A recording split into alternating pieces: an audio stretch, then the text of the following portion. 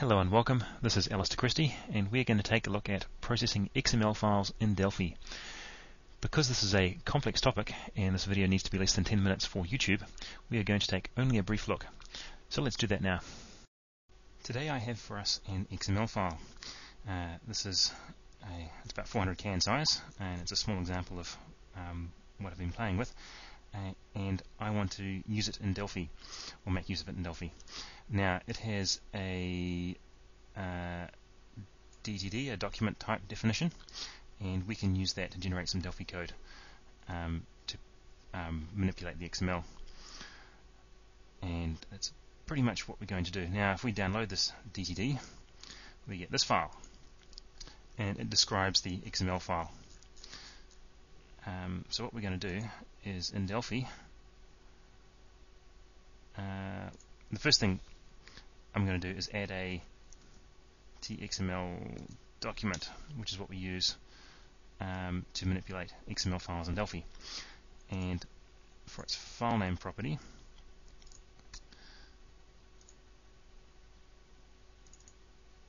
I'm just going to go and connect it up to this XML file, which is the one we're looking at. And then I'm going to go and import the document type definition. So we get file, new, other, XML, and then XML data binding. So let's go and find our our file and go next and just accept all the defaults and I won't store the settings and go finish. And it's generated this huge uh, XML file. Um, so that's what over almost 7,000 lines of code. Uh, however, uh, it hasn't quite worked. It's got a little bit confused. There's it's generated two postcode uh, fields. This one here and one here. Um, so what I'm going to do is I'm just going to cheat um, I'm just going to edit the DTD. If I can find it. Find the postcode. And we come down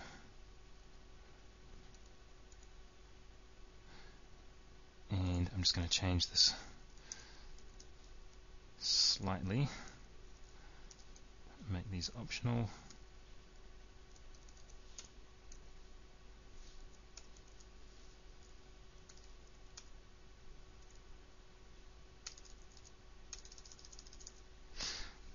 And save that and just um, repeat the process.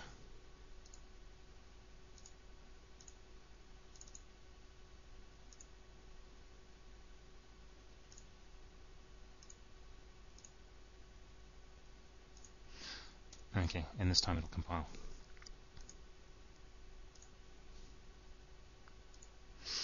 So now we've got the question of how do we use it. Well, if we go back into here, uh, what we want to do first of all is in our uses include property list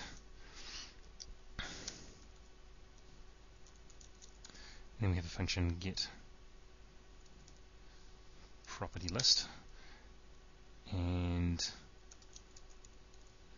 we do it based on our XML document 1 and if we look at get property list, it returns an IXML property list type.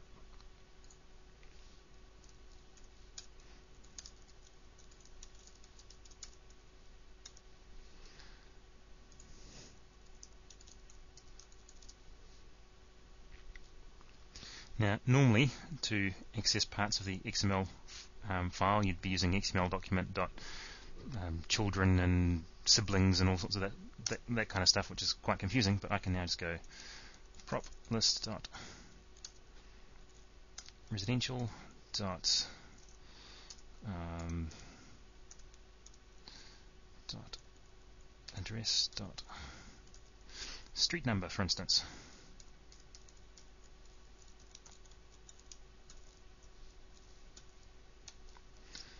if we run that, fingers crossed, we get to 30. Now, if we look in our XML file, and just go find, search for residential, is our, our first one, and if we go down to the address, we see that the street number is 30. So we've gone, um, we've got our property list, we've gone to residential, and then address, and then street number, and it's found it for us. Um, so, very cool. So what I'll do now is I'll add a TTreeView.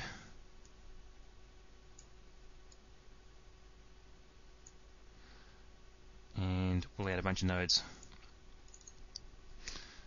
So what we'll do is we'll do a for loop for i is assigned 0 to proplist dot residential dot count. To begin. And I'll need a node, or I'll call it a tree node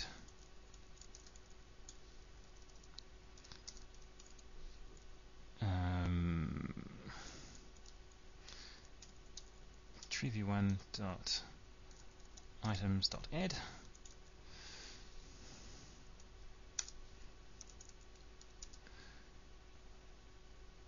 and let's grab this.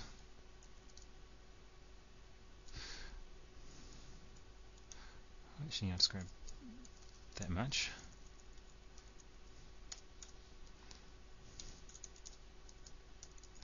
Grab the unique ID and then we'll go um,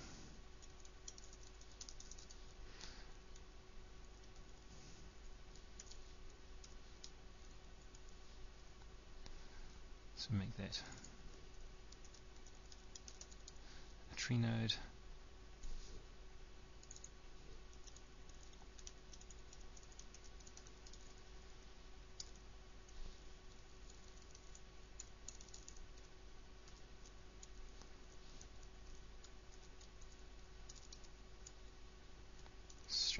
Okay, so let's run that. And hopefully it'll work. And we've still got our show message. Uh, it didn't quite work. I wanted add child probably.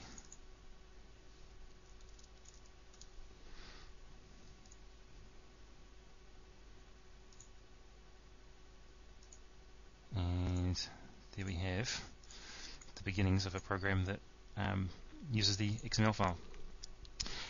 And that's pretty much all I wanted to cover today, so hopefully that um, um, you've learned something from this.